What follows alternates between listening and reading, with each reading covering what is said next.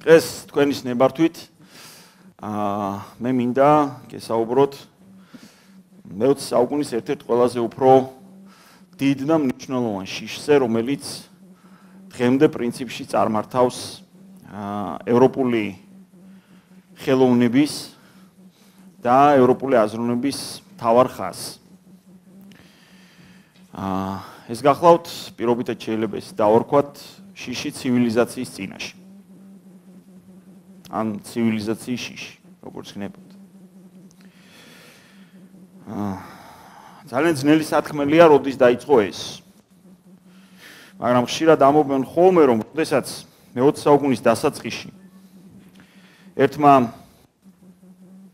ძალიან ცნობილმა ფრანგმა საკუთარ სასტუმროში მოხსნა პისუარი. მე მე დიმაკცით რა არის პისუარი, ხო? აა მოხსნა პისუარი და მიიტანა გამოფენაზე. დადგა და თქვა, რომ ეს არის სუსტად ისეთივე ხელოვნების ნაწარმოები, როგორც მაგალითად ლეონარდო და ვინჩის ჯოკონდა ან მიქელანჯელოს პიეტა. ალბათ ოფიციალურად სწორედ ამის შემდეგ მოხდა გარდატეხა ევროპის აზროვნებაში. ამ სიმბოლურ ჟესტს, რომელთაც მე დღეს თქვენთან ლაპარაკი დავიწყე, ძალიან ბევრი ახსნა და გარჩევა აქვს, მეტის მეტად ბევრიც კი. ყველაზე უფრო შთამბეჭდავი ჩემთვის ყოველ შემთხვევაში არის აა ესეთი ვერსია ამ ქმედებისა, რომ მთელი სამყარო, მთელი სამყარო, რომელშიც ჩვენ ცხოვრობთ, პრინციპში ყველაზე უკეთესად გამოიხატება ამ უნიტაზის ნაირგვარობით. რატომ? ეს სრულიად სხვა და ცალკე თემა.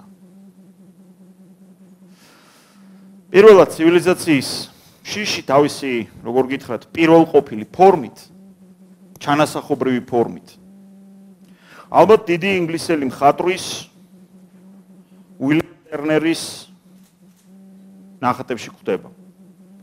როდესაც განსხვავებით თავისი თანამედროვეებისაგან, ვთქვათ ფრიდრიხისაგან, ჩერჩისაგან, ცოტა უფრო გვიან დაბადებული აევაზოვსკისაგან, ყველა ამათგან განსხვავებით უილიამ ტერნერმა გადაწყვიტა, რომ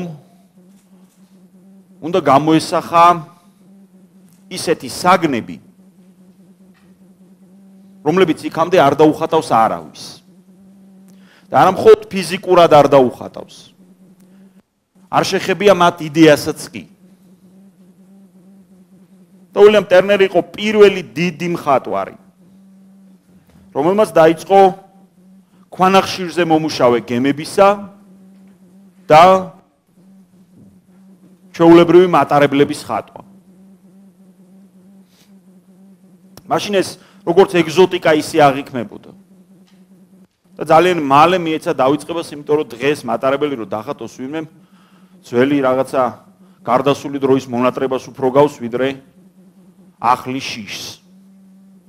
მაგრამ თუ კარგად დააკვირდებით ტერნერის ნახატებს, აღმოაჩენთ რომ ტილოს კუთხეში ეს განსაკუთრებით თქვენგან მარცხნივ ვარდა ამის ხატვა. ტილოს კუთხეში აუცილებლად გამოსახულია რომელიმე იდეალური პეიზაჟი. იდეალურად მშვიდი პეიზაჟი. როგორც წესი ნავით, როგორც წესი ჩამავალი მზით, როგორც წესი ხიდით. აი სურათის თქვენგან მარჯვენა მხარეს გამოსახულია ხოლმე თელისის სწრაფით მკროლი მატარებელი სოჟი ძალიან ნიჭიერი მხატვარი იყო უილიამ ტერნერი ერთ-ერთი უდიდესიც ალბათ ვინც კი 19 საუკუნის დასაწყისში ყოფილა ერთადერთი რამე არ გამოსდიოდა სურათებს ვერ არქმევდა თავის სახელებს ვერ არქმევდა თავის სურათებს. საოცრად გრძელ სახელებს არქმევდა აი დაახლოებით როგორც იცი ხა ვინმე რო დაგხვატოს და რო დაარკვევს სტუდენტები ლექტორი მაგიდა და შუქი პლუს კამერა. დაახლოებით ასეთ სათაურებს არქმევდა ხო და იმ ნახატზე რომელზეც მე ახლა გელაპარაკებით იქ თქვენგან მარჯვენა კუთხეში გამოსახულია მთელი სიჩქარით. ესე იგი სრბოლი მატარებელი და კიდევ კურდღელი ამ მატარებლის სიჩქარის ისე ვთქვათ განსასაზღვრად და აღსანიშნად. სამწუხაროდ მოხდა ისე რომ უილიამ ტერნერის შიშმა ვერაფერი ვერ შეცვალა სამყაროში აბსოლუტურად და ხატრებმაც მწერლებმაც კანდაკეებმაც გააგრძელეს გზა რომელმაც ხელოვნების ზოგიერთი დარგი მაგალითად კანდაკება დღესდღეობით ალბათ პრინციპულ კოლაფსამდე მიიყვანა შეგვიძლია ასევე თამამად თქვათ რომ ერთადერთი დარგი ხელოვნებისა რომელიც რომელსაც ცივილიზაციის არეშინია პირიქით ისე გძნობს თავს როგორც თევზი წყალში ახალთ არქიტექტურა არქიტექტურა ეს არის როგორ გითხრათ მეფობა ზეობა ცივილიზაციის. მაშინ როდესაც უკანასკნელი 150 წელიწადია და ახლობით 150 წელიწადია ლიტერატურაც ხატრობაც მუსიკაც საზოგადოებრივი ცხოვრებაც ყველაფერი მიუთითებს იმაზე რომ ადამიანებს განსაკუთრებით ადამიანებში ამ შემთხვევაში გულისხმობ აა მოაზროვნე ხელოვნებასთან შედარებით, ხელოვნებასთან და ფილოსოფიასთან შედარებით ახლო მდგომ საზოგადოებას კატასტროფულად ექნია ცივილიზაციის. 1930 წელს, როდესაც პირველად გადასცეს ნობელი ჩემთვის დიდ და ზოგიერთებისთვის არც ისე მნიშვნელოვან ზოგიერთებს გულისხმობ უილიამ ფოლკნერს აფსთხევაში. აა არც ისე მნიშვნელოვან ამერიკელ მწერალს სინკლერ ლუისს, არა? სინკლერ ლუისმა თავის სანობელო სიტყვა დაასათაურა ეს ეს არის ერთ-ერთი ყველაზე უფრო ცნობილი სიტყვა, რაც კი უკანასკნელი 115 წლის მანძილზე წარმოთქმულა. ნობელის გადაცემისას. სათაური აქვს ესეთი ამერიკელებს ეშინიათ ლიტერატურის. ჩვენ დღევანდელი ლექციის სათაურად შეგვიძლია ვთქვათ, რომ ადამიანებს ეშინიათ ცივილიზაციის.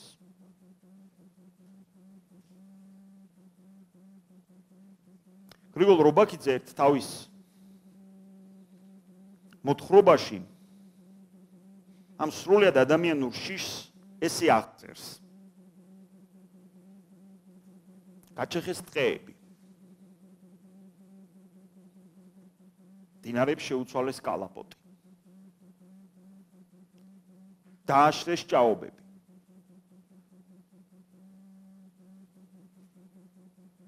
გადაშენდნენ ტყის ნიმფები. ჭინკები. გაქრა ადგილის დედა.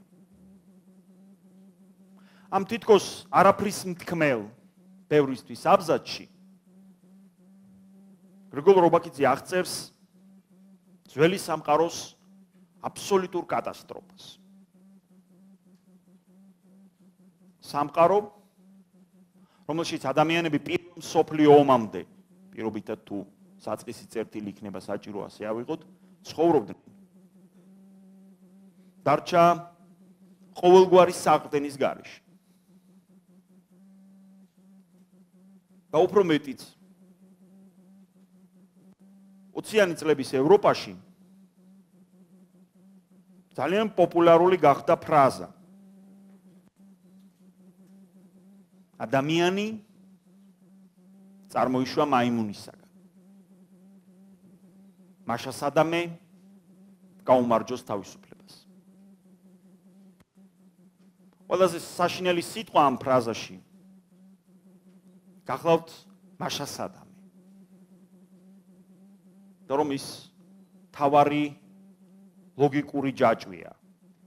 ერთი შეხედვით სრულიად ალოგიკური წინადადების.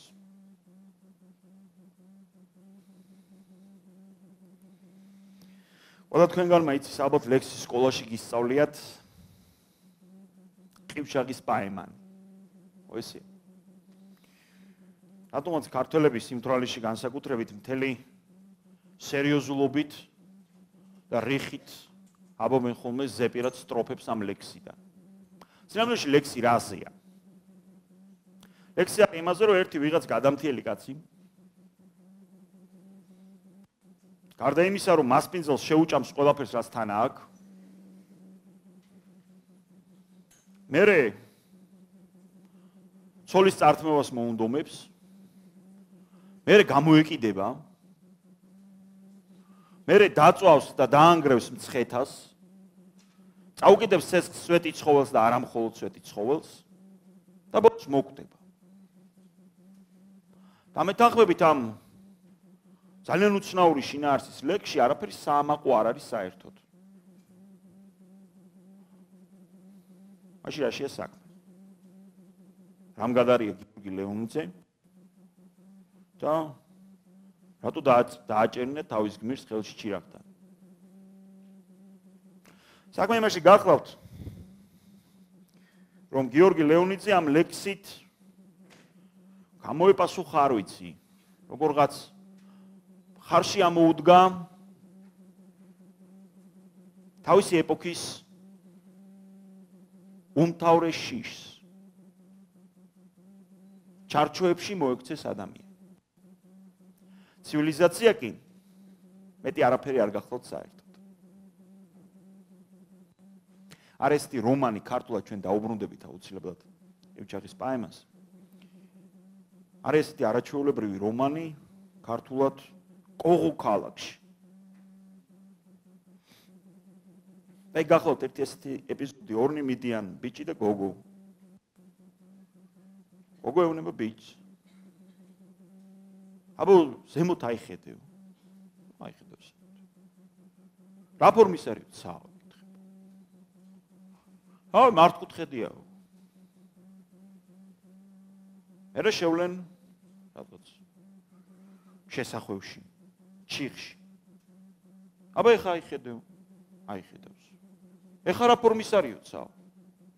ეხა სამკუთხედიო. გამოვლენ იქიდან. გააგზელებენ გზას. მივლენ მოედანზე. აბა ეხა აიხედო ეთქვის. აიხედავს. ეხა რა ფორმის არისო? ეხა მრგვალია. კარგი ის გოგო ეთქვის. ხო ბაქცდება. სინამდვილეში ცივილიზაცია რომლის შვილებიც თქვენც მეც ამ დარბაში არ მყოფნიც არიან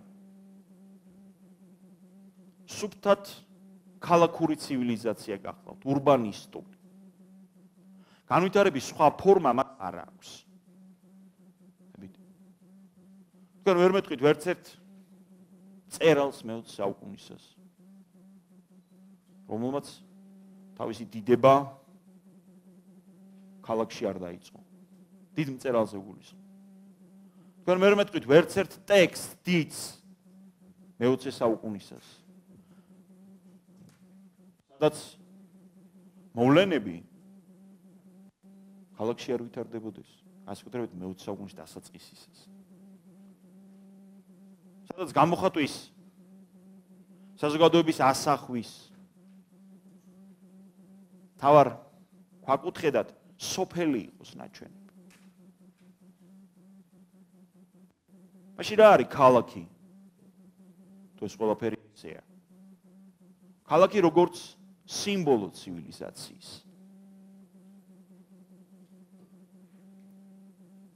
აი ეს უკვე ქალაქში დავისესხებით. ქალაქი არის ადგილი, სადაც არამხოლოდ თქვენს წინ, თქვენს თვალწინ არსებული სივრცეა შეზღუდული. ახლა რამდენიც არ უნდა ატრიალოთ თავი, ამ კედლებს იქით ერაფერ დაინახოთ. არამედ ყველაზე უფრო შეუზღუდა. ყველაზე მეტად უსასრულ. ყველაზე მეტად დაუსაბამო რამ. ზეცა. გეომეტრიული ფორმის გახლავთ. იმიტომ რომ თუ ვიწრო ქუჩაში მიდიხართ და ზემოთ აიხედავთ. თქვენთვის წავს ზუსტად იმ ფორმისა რა ფორმის ქუჩაზე დგეხართ.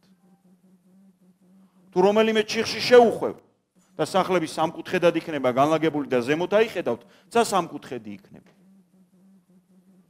ხოლო თუ მოედანზე დადგებით, მაშინ მრგვალი. ამით ყველაზე უფრო უგისოსო ყველაზე უფრო შემოუღობავი რამ. ცივილიზაციამ ნებავთ ქალაქმა ადგა და შეღობა და უქმდებარა თავის ძალიან კონკრეტულ წესებს. გეომეტრიულს. აქცია ის მართკუთხედებად სამკუთხედებად წრეებად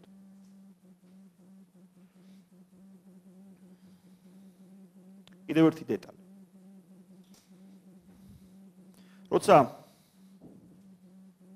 ჩვენ ცივილიზაცია სულ ორი რამის ღვიძლი შვილი გახლავთ. ერთი ეს არის ფული. მეორე შეგვიძლია ვთქვა, რომ ეს არის ნავთობი.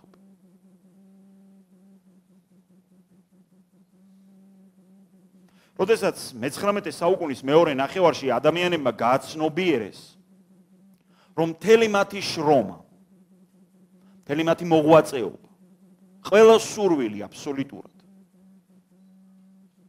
დამოკიდებულია უკიდურესად სიმბოლურ საგანზე. ისეთი როგორიც გახლავთ. ფული. ისე შეშინოთ მეტი არ შეიძლება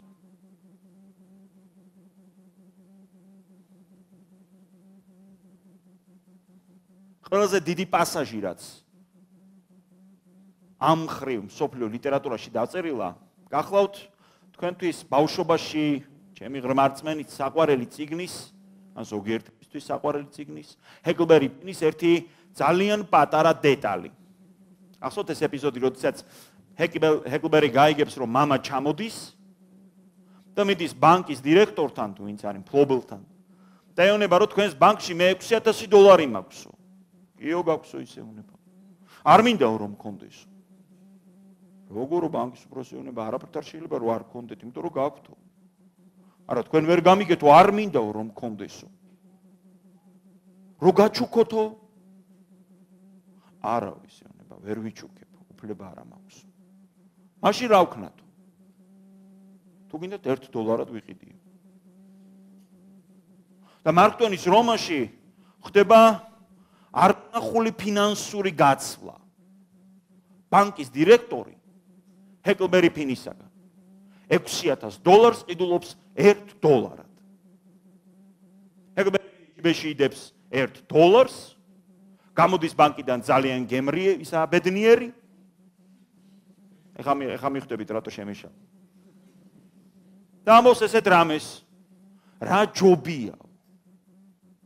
ბაზრის გვერდით კატრში ერთმანეთში არეულ ძველ საჭმელებს რო ჩაუბუჟბუჟდებიო.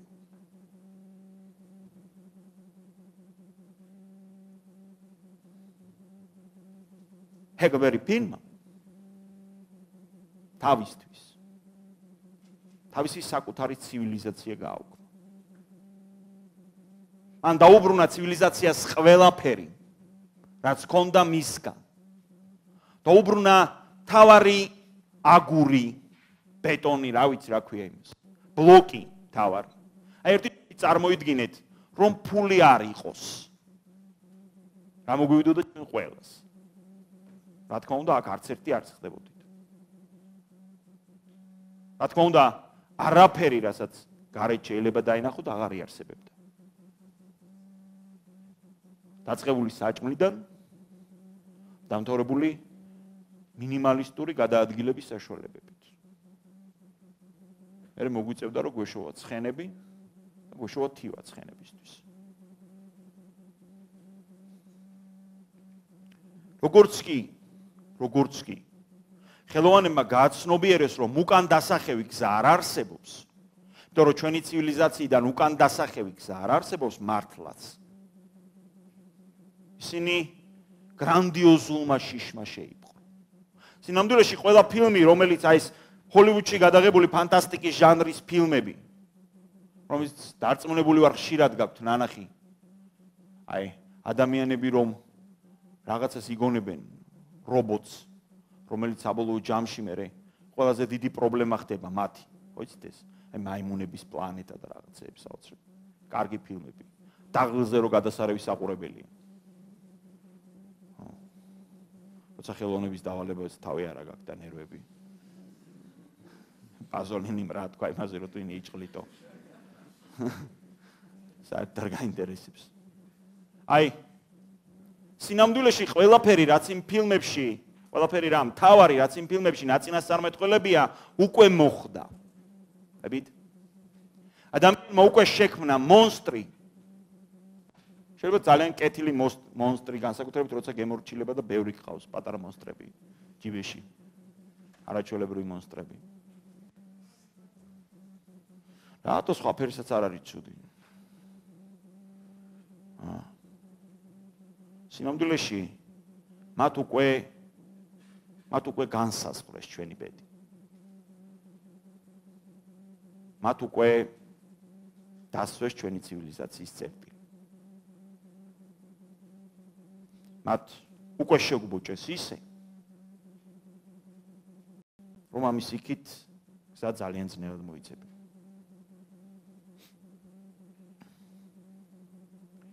აი ჰეგბერი ფინის მსგავსად, ჰეგბერი ფინის მსგავსად.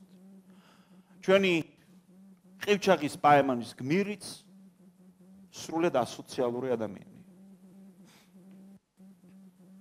რა ცივილიზაცია? ცივილიზაცია არის ქონება. რო გაქვთ. აი ეს არის ცივილიზაცია. ჩიპი მაქვს. საქ მაქვს.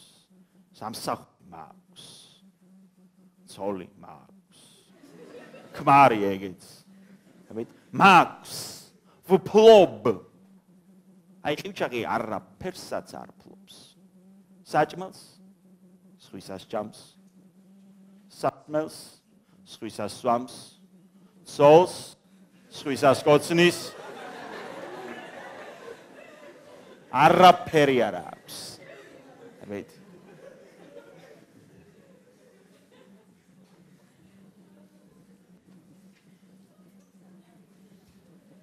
სინამდვილეში ცხეთის დაქცევის სურვილი ცხეთის დაქცევის სურვილი სინამდვილეში ცივილიზაციის დაქცევის სურვილია და მეტი არაფერი.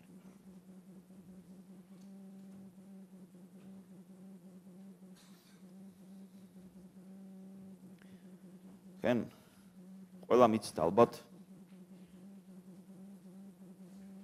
ესეთი რომანი გაგიგიეთ მაინც მეტამორფოზები.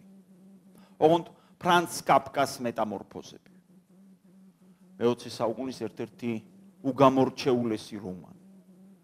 რაზეა ეს რომანი? მე უარესად ვიტყვი. ეს არის დეგრადაციის უკიდურესი ფორმა.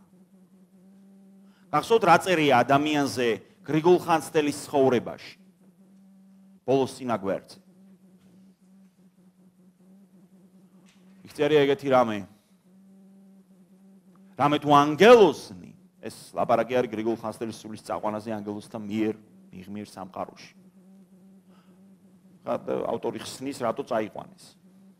რამე თუ ანგელოსნი და სულნი კაცთან ერთარსება არიან. დავით ეს რას ნიშნავს? ამაზე დიდი ეპითეტი, ამაზე დიდი შექება, ავანსი არასოდეს არ გაცემულა ადამიანებზე. რომ ადამიანი ეს პოტენციური ანგელოზია ჩვენ ენაზე თუ ვიტყვით. რომ ადამიანი სახე და ხატია ღვთისა. კაფკასთან როგორ არის? კაფკასთან ადამიანის სახე და ხატია დარაგანის. კარგი ჯამრთელი, ულვაშებიანი, ფეხსახსრიანი დარაგანის. ხოჭოა რა. ჩეულებრივი მაისის ხოჭო.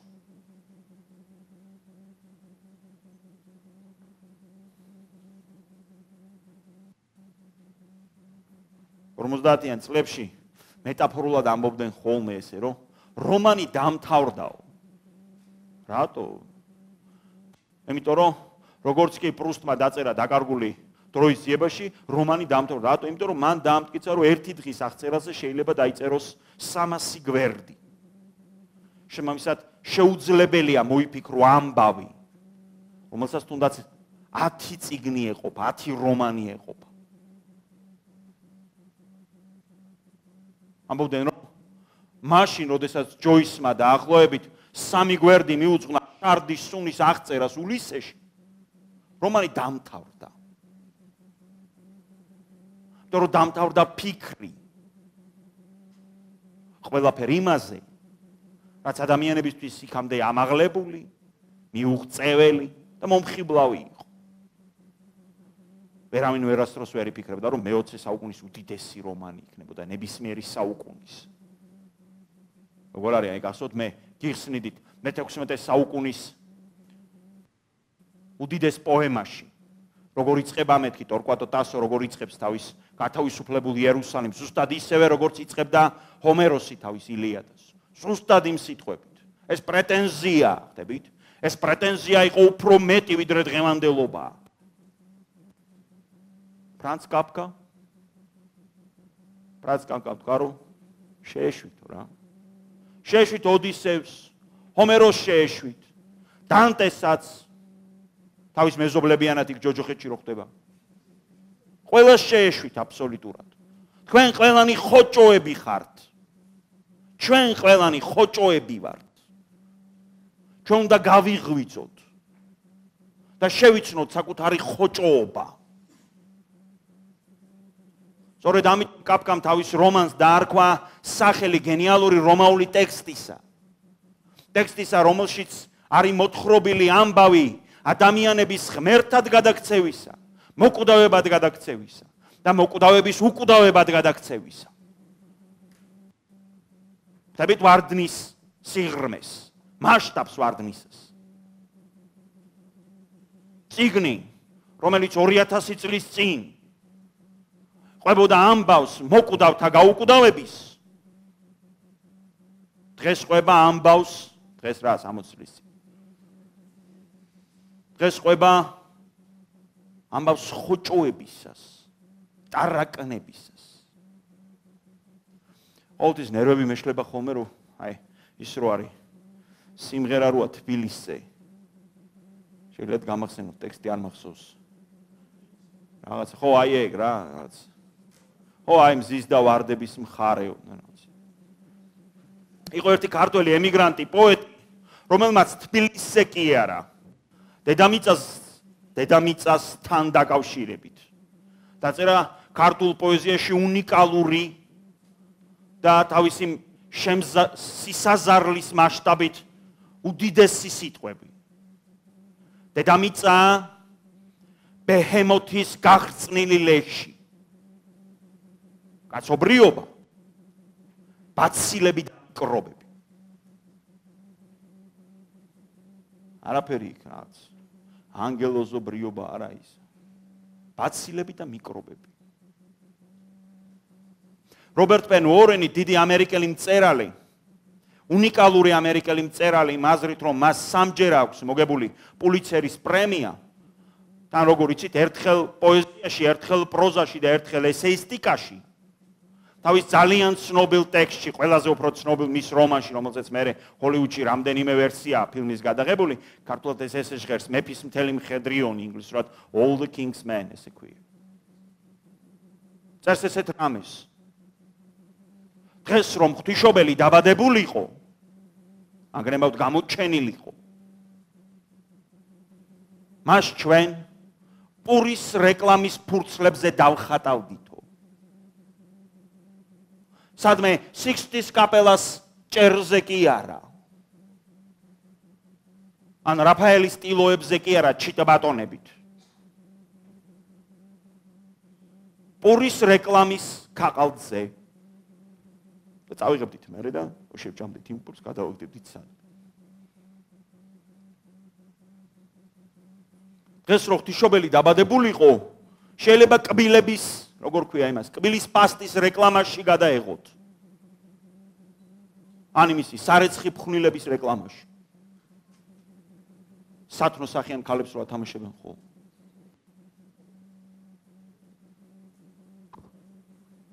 მეზობელთა რომ მიდის და ის რა ქვია? აა, ხო, შენმა შულმა კიდევ დასვა რა, ზედა?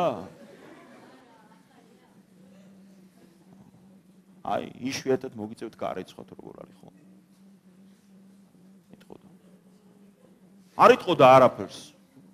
ვით? არადა. როგორღაც წერლები კინორეჟისორები, ხელოვანები ზოგადად, მათი უმრავლესობა სენტიმენტალური ხალხია. მათ შიათ სასწაული.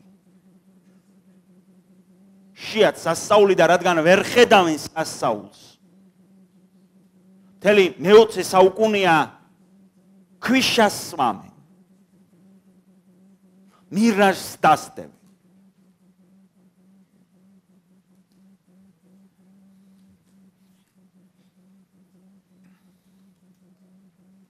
როგორ უნდა ავაშენოთ ჭეშმარიტი ქვეყანა, თანამედროვე ცივილიზებული. არავინ არ იცის. ან მარტო ზოგიერთებმა იციან. უნამუნო იხუმრა ერთხელ როცა კითხეს რომ როგორ უნდა ავაშენოთ კარგი თანამედროვე ძლიერი ეროვნული ესპანეთის სახელმწიფო. თხები უნდა გავწყვიტოთ უთხრა. რატო კაცო? იმიტომ რომ ესპანეთის აშენება თუ გვინდა სოფლის მეურნეობა უნდა განმავითაროთ. სოფლის მეურნეობას ისე ვერ განმავითარებ თუ წვიმა არ მოვა. წვიმა არ მოვა თუ ტყეები არ იქნებაო, ტყეები არ იქნება თუ ხეს არ დავგავთ. მაგრამ ხე რომც დავრგოთო, ჩვენთან იმდენით ხარი მიდიან ეგრევე ჭამენო. ამიტომ ტყეები უნდა გავწყვიტოთ.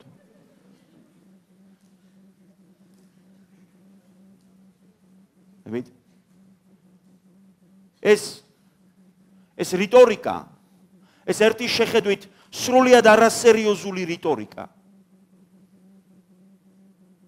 საბოლოო ჯამში თავს იყრის 1984-ში. საბოლოო თავს იყრის მექანიკურ პორტუხალში. საბოლოო თავს იყრის აკვემს. ვიღაცამ გუგლის ბუდეს გადაუფრინა. ეს ყველაფერი გროვდება, ხდებით? გროვდება. და საბოლოოდ ისე გროვდება რომ ადამიანებისთვის აუტანელი ხდება. და რადგან ხდება აუტანელი ადამიანები დგებიან და მიდიან. მიდიან თავიანთ პირველ ყოფილ მდგომარეობაში. სადაც აღარ არსებობს აღარც კანონები. სადაც აღარ არსებობს არც სამართალი. არ არსებობს არც სოციალური ურთიერთობის ჩვევები არ არსებობს არც ქონება და საერთოდ წარსულიც არ არსებობს. ანუ ჩვენ ყველანი უცებ გადავიქცევით ჰიპებად. ჩავშდებით გაფერადებულ ავტობუსში და საკუთარი ახალი სამყაროს აღმოსაჩენად წავალთ. მე არ ვიცი ხა თქვენ გიყვართ თუ არა ის ძალიან ცნობილი მიუზიკლი. აქვე. ესო ქრისტეს სუპერვარსკვლავი. თუ გახსოვთ იქაც ესია ვიღაცები ხდებიან ავტობუსში და მიდიან. და მე როცა ყველაფერი მთავრდება მე ისევ ხდებიან ავტობუსში და ისევ მიდიან. ის ავტობუსი მეტი არაფერი არ არის თუ არა კერუაკის ავტობუსი. ჰიპების ავტობუსია. სხვა ფერად შეღებილი უბრალოდ მეტი არაფერი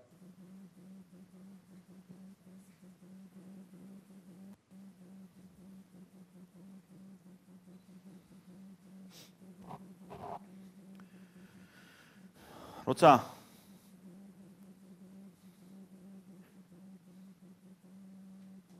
როცა ქალაქის შიშმა? ძალიან შებუჭა. ევროპელი მწერლები მათ გაქცევის გზების ძიება დაიწყეს. ისინი გარბოდნენ ყველანი სხვადასხვა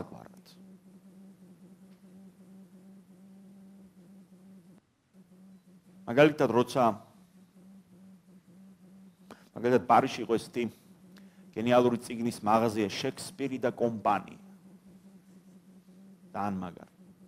საჩორის ვუდი ალენის ფილმი ვისაც გაქვთ ნანახი ეს ახალი ფილმი რა ქვია მას შუაღამე პარიში ერთ ორ კადრში ჩანს ეს მაღაზია.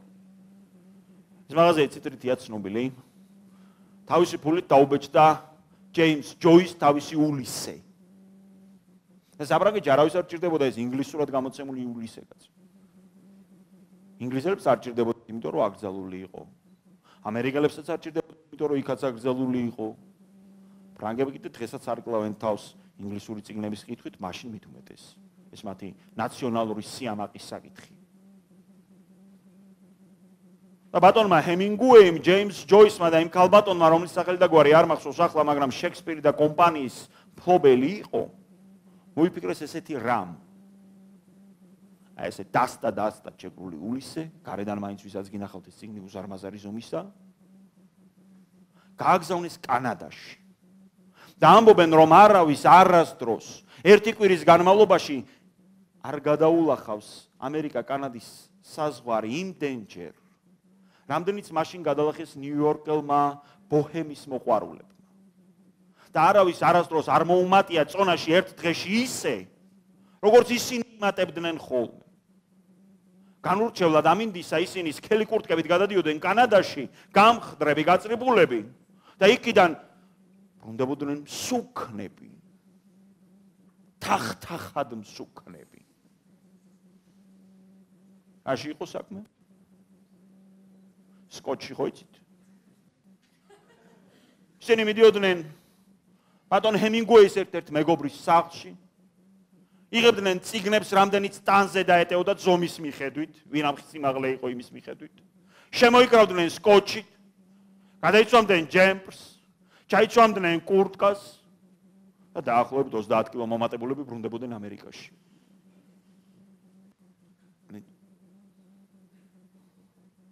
თითქმის 20% ულისესი ასე ტანზე სკოჩ შემოგრული შევიდა ამერიკაში.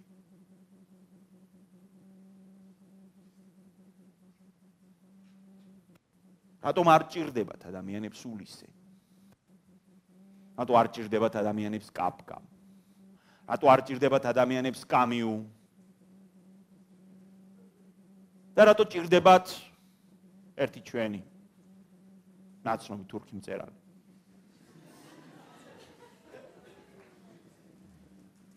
იცით რატომ? ცივილიზაციას არ უყვარს, როცა სიმართლეს ეუბნებიან. ცივილიზაციას ლამაზი თვალები უყვარს. უყვარს საერთოდ ადამიანებს ლამაზი თვალები.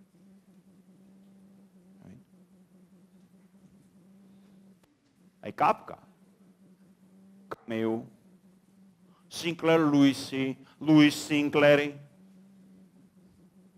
თომას გრეინი ბევრნი კიდე. ასობით ჟან ჟენე მაგარი კაცი ეი ყვავილების ღვთისმშობელი დაწერა. ყველანი ესენი პირშტი სიმართლის მთქმელი ხალხი არიან.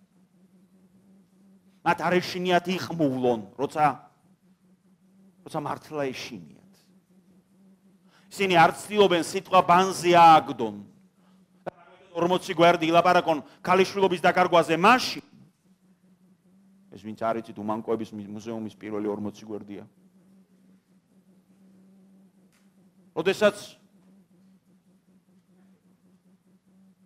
როდესაც უკვე რამდენი წლის წინ დაახლოებით 20 წლის წინ მებრძოლთა კლუბია დაწერილი. როცა სოლბელოუმ წვიმის კაცი ჰენდერსონი დაწერა. აუ, როდის დაწერა? ნახევარი საუკუნე გავიდა უკვე. ამით. როცა ტრომენ კაპოტმა დაწერა საუზმეტი პანისთან. და რალფელისონმა დაწერა უჩინარი კაცი. კარგ რამეზე მივიდით. როგორ უნდა გავექცეთ ცივილიზაციას? რომ არ გაგვანადგუროს ყივჩაღივით. როგორ უნდა გადავრჩეთ? და სადღაც 60-იანი, 50-იანი, 60-იანი წლების სოფლიო ლიტერატურაში იქცა სულად ახალ თემად, უნდა გავქრეთ ხალხო. ხვდებით? ჩვენ ადამიანები უნდა გავქრეთ. რომ ცივილიზაციამ ვერ შეგვამჩნიოს, ვერ დაგვინახოს. უნდა გავუჩინარდეთ, უნდა დავტოვოთ ხორცი. უნდა დავიმალოთ. სანერდ არ გამოვა. ამაზეა რომანი ვიქნები თუნდაც განტენ ბაინი. სადაც მთავარი გმირი მიუხედავად იმისა რომ ხედავს, მაინც ბრმა ის ვერ ხედავს. შეიძლება ქუჩაზე გადასვლისას დაგეჯახოთ. იცით რატომ? იმიტომ რომ თქვენც დაგარწმუნოთ რომ ბრმაა ისა. თქვენ რო ეჭვი არ აიღოთ, რომ ის ბრმა არ არის. რომ ვინმე მსადმე ცივილიზაციის რომელიღაც კუნჭულში არის ფიქრობს რომ ეს კაცი იტყუება. ეს კაცი არსებობს. ო, და თუ არსებობს და თუ არსებობს, რატო არ უნდა ვაქციოთ იგი დიდ საზოგადო მოღვაწეთ, რომელსაც მე ძეგლს დაუდგამთ? პოლიტიკოსად რომელსაც მე ხელს ჩამოვართმევთ და სურათებს გადავიღებთ. ბალპელისონი უფრო შორს წავიდა. მან შექმნა გმირი, რომელიც თვითონ ხედავს, მაგრამ მას ვერ ხედავენ. და ეს გმირი არის საოცრად თავზე ხელაღებული და ბედნიერი იმით, რომ ცივილიზაციისთვის იგი არ არსებობს. მაგალითად, შეიძლება გაიაროს მეხუთე ავენიუზე, უცებ მოუნდეს ფეხქვეშ ამოიდოს რომელიმე ჯანიანი ადვოკატი და მაგრად გაწუხნოს. დააფინგალოს. შეშინებული ადვოკატი ვერაფერს ვერ ხედავს. შეშინებული ადვოკატი მიდის პოლიციაში და ეუბნება რომ ცემეს ვინ გცემა? ვერ დავინახე. კი მაგრამ როგორ ვერ დაინახე თავი და ყმა გაერთიანებული გაქვთ. ვერ დავინახე.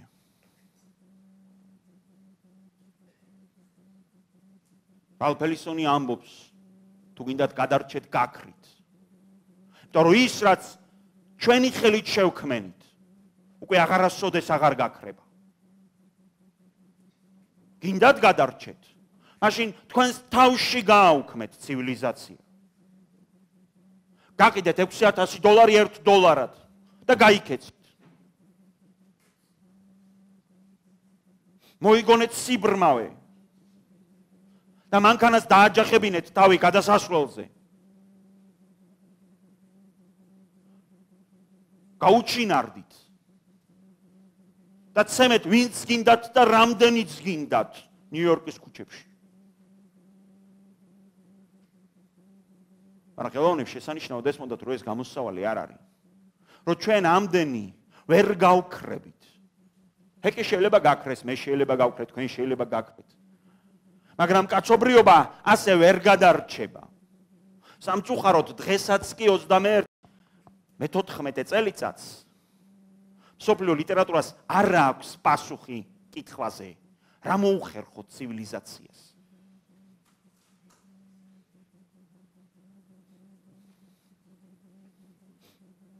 ორი რამ არიცით? ამის პარალელურად, ამ ყველაფრის პარალელურად ადამიანების მეორე ჯგუფმა მოიგონა ხელოვანთა მეორე ჯგუფმა მოიგონა თავისი სამყარო. სადაც როგორ რაღაცებს აკეთებენ, იცით?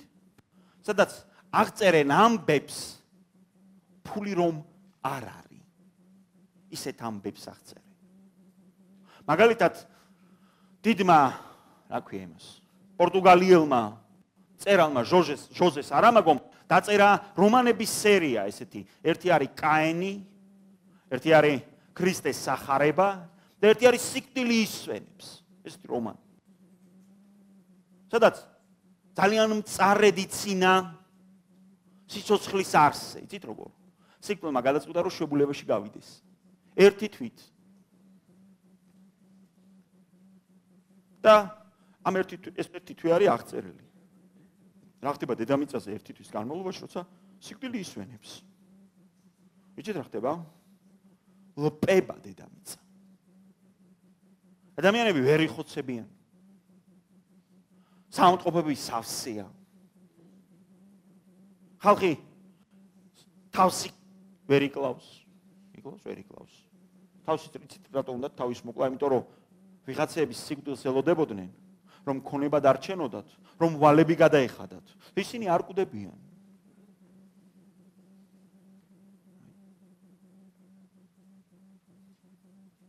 და ზეზეურტება დედამიწა. და ბოლოს ავტორი ლამისარი ეხვეწება სიკვდილს, თავისივე პერსონაჟს სიკვდილს. რომ მოდი რა, მოდი. მოდი და გაწმინდე ეს სამყარო. იმიტომ რომ სიცოცხლე სამყაროში, ამ ცივილიზებულ სამყაროში ლოპობის ფორმად იქცა მხოლოდ. და მეტი არაფრად. ეხშია და ამბობ ხოლმე, რომ ძალიან მიყვარს ეს წერალი.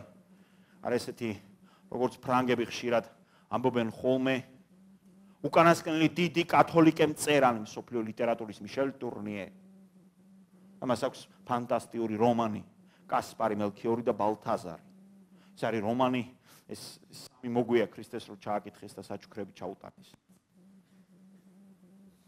ფანტასტიკური პასაჟებია იქ როგორ როგორ უნდა მიხვიდე და სად უნდა მიხვიდე. ეს არის როგორი რაღაცა იცით აი რო აიღოთ ვოლტერი და სახარებას რო შემოსტყორცნოთ.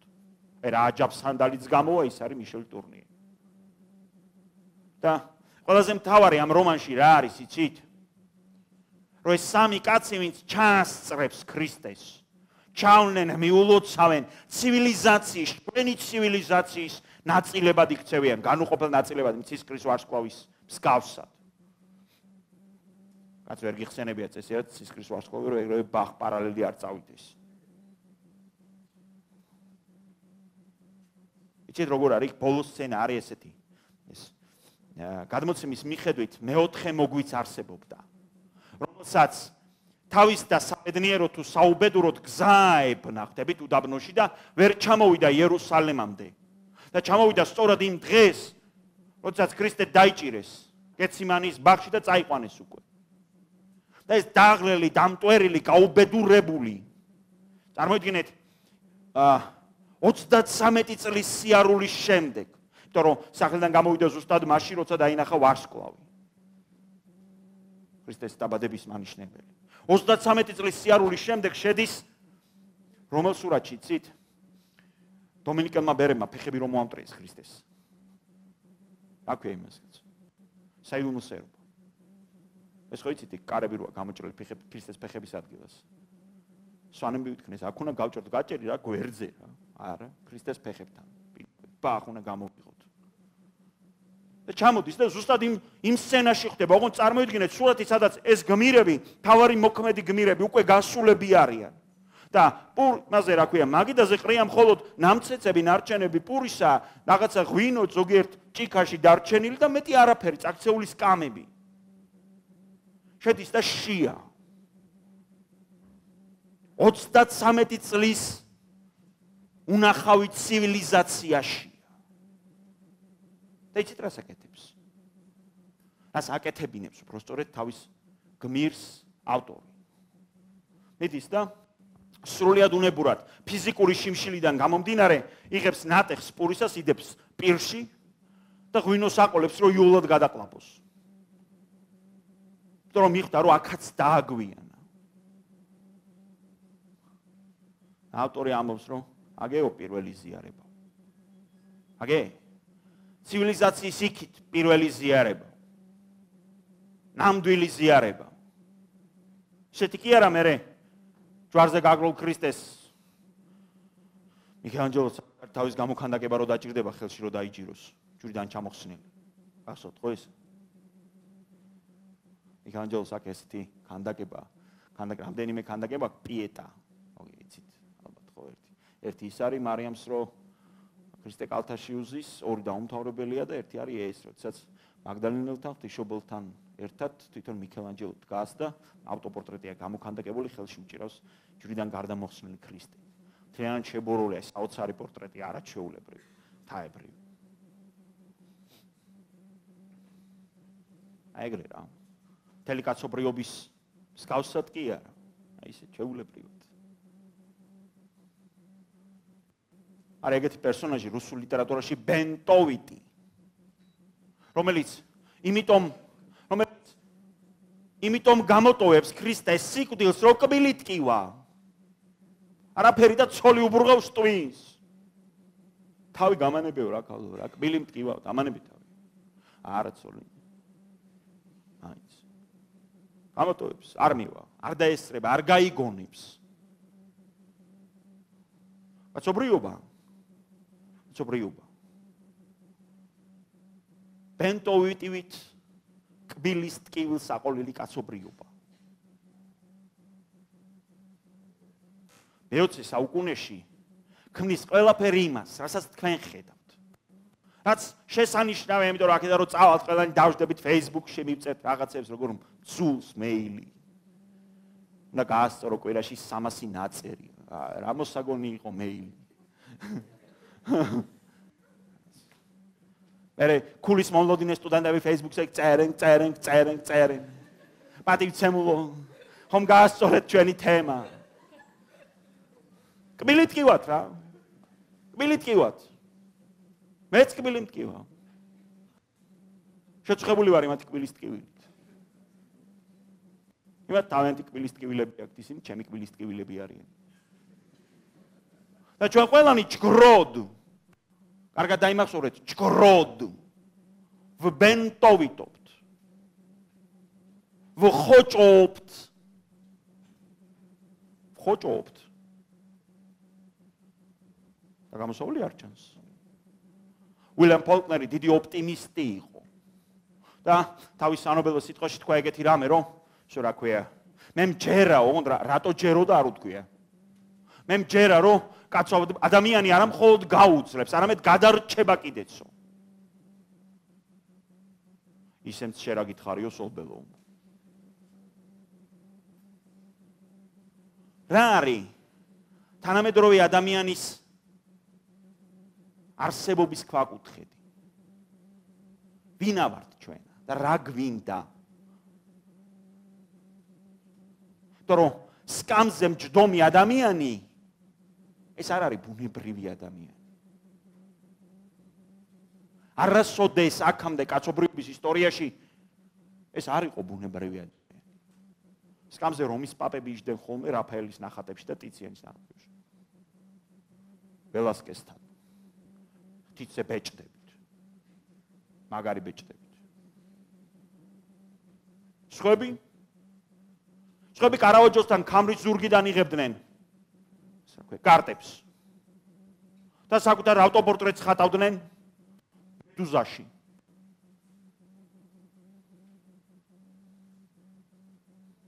სხვები თითს უყოფდნენ ქრისტეს. აი ესე ფერდში უყოფდნენ თითს ქრისტეს. კარავაჯოს ხატებს.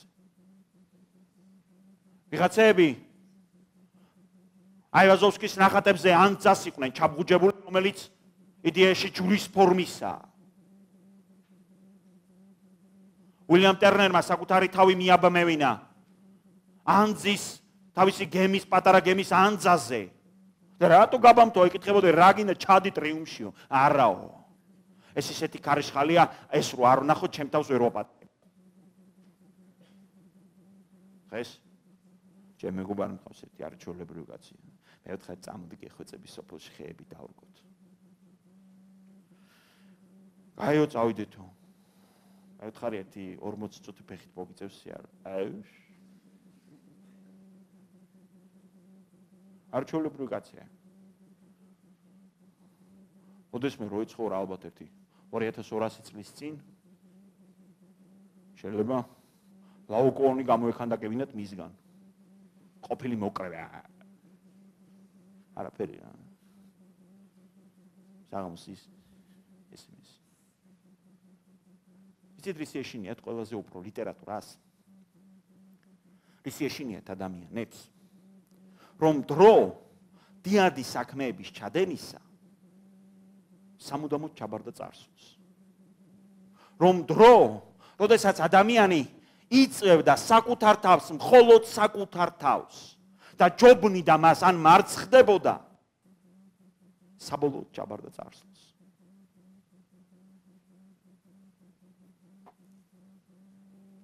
თანამედროვე ლიტერატურაში არის ერთი არაჩვეულებრივი მწერალი ლორან გოდენ რომელმაც თავისი რომანის კორტების მზის თავარ თემად რა ერჩა იცით? ერთ იტალიურ სოფელში ცხოვრები სიგარეტის კონტრაბანდით დაკავებული ოჯახის ამბავი. ოდეს მე არ დაფიქრებულ ხართ რომ რატო ამ მე-20 საუკუნის ლიტერატურაში ამდენი ავადმყოფი ამდენი გიჟი ამდენი სულიერად მახინჯი, ამდენი ასოციალური. რასაჭიროა იდიოტი ლიტერატურაში თუ ყველაფერი კარგადაა.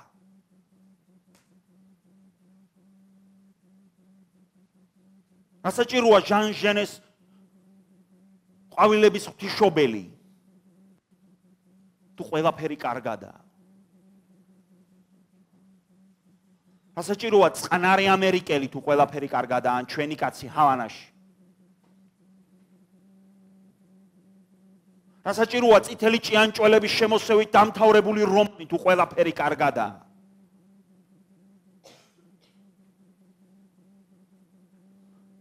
მე მგონი ეგ ნამდვილი ტრაგედია, იცით?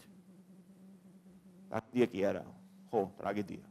აი, როგორ იცით, აი გვიანი შუა საუკუნეების აზრით ტრაგედია ეგ რომანი. ყველაფერი კარგად რო იწყება და მეერე ცუდად რომ თავდება. ეს რო არის ტრაგედია და კომედია კიდე პირიქით.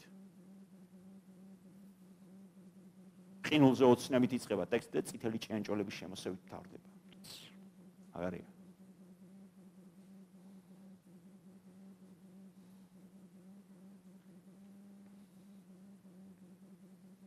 რატო არ ეშინოდა ბორხეს საკუთარი სიბრმავის? რატო წერდა არგენტინელ მაჩოებზე თავის უსასრულო სერიას მოთხრობებისას კასარესთან ერთად? იყო ეს კაცი ადროპიოი კასარესი, დიდი არგენტინელი მწერალი. რატო წერდა? და რო ყველაზე უფრო თვალხილული იყო ბორხეს აქ ეგეთი მოთხრობა ქართულად ალბათ ალფა ქვია რუსულად ალეფი. ა ორი მეგობარია ერთ სახლს უნგრევენ. და ეს მეგობარი ურეკავს თავის მეგობარს და მოდი ეუბნება სარდაფში ჩაგიყვანო იქო ისეთ რამეს განახებო რომ მე ხო შეგიძლია რომ სახლი არ დამიგონ შემილე. ხო და არ დაანგრევინო რა. კაი მოვალ ოღონდ თუ მანახებ არ დაანგრევ თუ ვერ მანახებ დაანგრევ. ჩავნეს სარდაფში რომ ასაფეხურს ჩაივლიანი მეცხრეზე ფსკერზე დადგებიან. გაიხედო გაიხედავს ხედავ რამეს ვერავ შენ მე კიო ას ხედავ აი რაღაც ფეროაო სამყარო ჩანსო. არა ვერ ხედავ რა ვქნათ არ პერო სახს დავანგრევთ. დაანგრევენ იმ სახს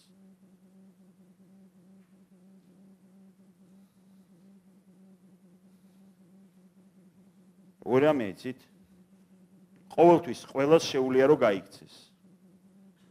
ყოველთვის ყოველს. მაგრამ თავი პრობლემა ის არის სად უნდა გაიქცე? თქვენ ის გეცოდინებათ გურამრჩეული შვილი. სკოლაში ისწავლით ალბათ გურამრჩეული შვილს აქვს ერთი ლექსი პიდარასტები პარიზის კაფეში.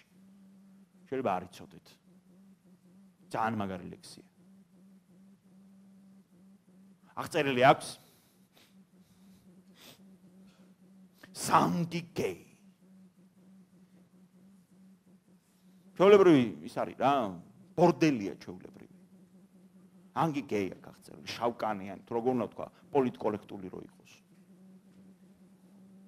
და რა კიცი აღწერილი როგორ სხედან და როგორ იცინიან. თეთრკანიანი ბიძიკოები. და როგორ იცინის 32 კბილით ბედნიერი სანგი სტრიპტიზიორი. ის კი არა ის ლამაზი მოთხრობები თქვენ რო იცით იქ რაღაცა. მუნჯი ახმედი და სიცოცხლე. კიდე რაღაცა. ალავერტობა. ალავერტობა. ავარდეთ ალავერდის სახურავზე ფეხი არ ისდეს ჩამოდი დაბლა სადმიდი. რატომ ავარდი ალავერდის სახურავზე? არა. აი ეს ლექსი, აი ეს ლექსი. მარტო ეს ლექსი რო ყოფილიყო. გურამრჩეული შვილი იქნებოდა, იქნებოდა რა არის? თავისი თაობის უდიდესი პოეტი. არა პროზაიკოსი, არამედ პოეტი, იმიტომ რომ მან საკუთარ ლექსში შეძლო და გაახილა თვალი. დაიხილა არარსებული თავისუფლება. ხილა დამწყვრეული კაცობრიობა, გაცინებული კაცობრიობა. ბედნიერი. საკუთარი არარაობი. ეს რომელი წამია იცით კაპკას ხოჭო სანამ მიხვდება რომ ხოჭოა და სანამ შეეშინდება რომ ხოჭოა იმას ეშინია მაინც რონანგოდეზე ვამობდი ლორან გოდე მასთან შეუდარებლად დაბალი დონის მწერალი ამელი ნოტომი. კიდე სხვაები ბევრნი რა. კუცე. დიდებული კუცე. სხვაებიც ბევრნი რა. როგორც ჩემთან სკოლაში ვითხოვდით ხოლმე ოპტო. ჭიდრას თულობენ დღეს. რომ როგორმე გზები მონახო.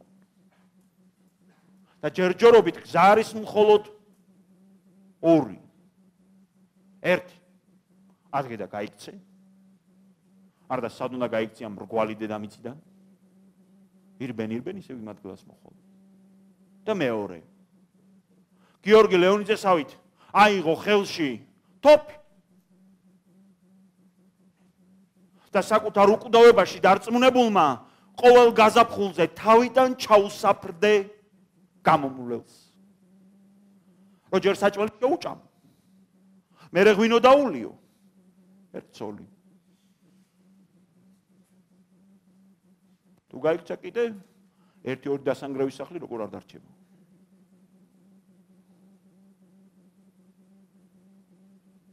დღეს ამაზე უფრო დიდი პრობლემა.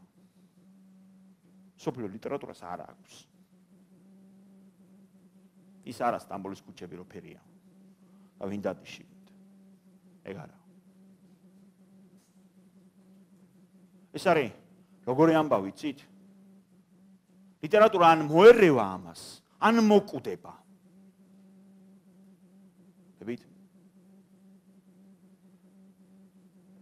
მე ეს ლექცია ეგრე გავიგე რა. რა მინდოდა ბოლოს რომ მეთქვა თქვენთვის. მე მინდოდა მეთქვა რომ ან მოუხერხებთ რამეს საკუთარ თავში ცივილიზაციას. ან გაექცევით, ან დაემალებით, ან შეებრძოლებით. ან დაიხოცებით უსახელოდ. როგორც თქვენამდე დახოცილა ბევრი. უკანასკნელი 150 წლის მანძილზე. მე ჩემ დათავად. ჯერჯერობით ვერ ვახერხებ, რომ ჩემი 6000 დოლარი 1 დოლარში გადავცვალო. დიდი იმედი მაქვს თქვენ მაინც მოახერხებთ როდესმე.